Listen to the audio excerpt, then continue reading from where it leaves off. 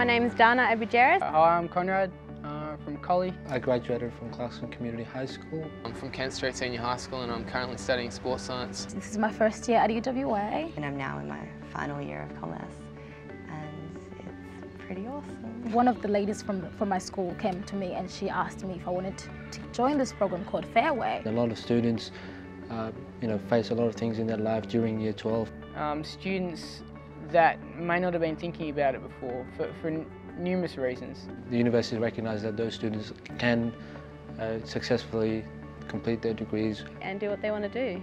And we had our first camp, our summer camp, and we came here for like about, I think, a week. A little bit of a taste of uni life.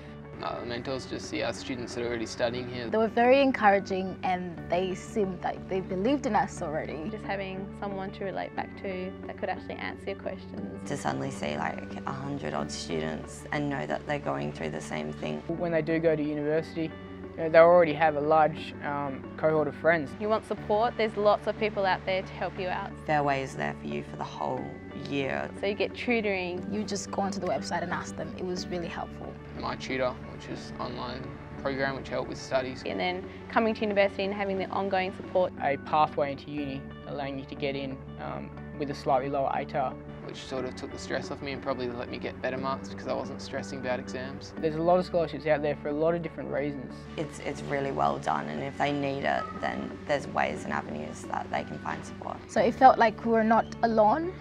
You know, we had a group of people that are there, just, that are behind us, supporting us. I was ready to go into year 12 and work as hard as I can and get into UWA. Big dreams in the future, you know, you know successful career. Get the experience here and then go overseas and help my country. Having the skills of a uni degree really makes you employable um, or anywhere over the world. You'd never know that you can't come to university until you've really looked into it. If you're driven enough and you're willing to do the work, then you know everything will fall into place. If you're in your 12 or 11 and you feel like you know you want to give up and it's too hard, no, it's not that hard. Look for all the opportunities, look for all the avenues that you can take.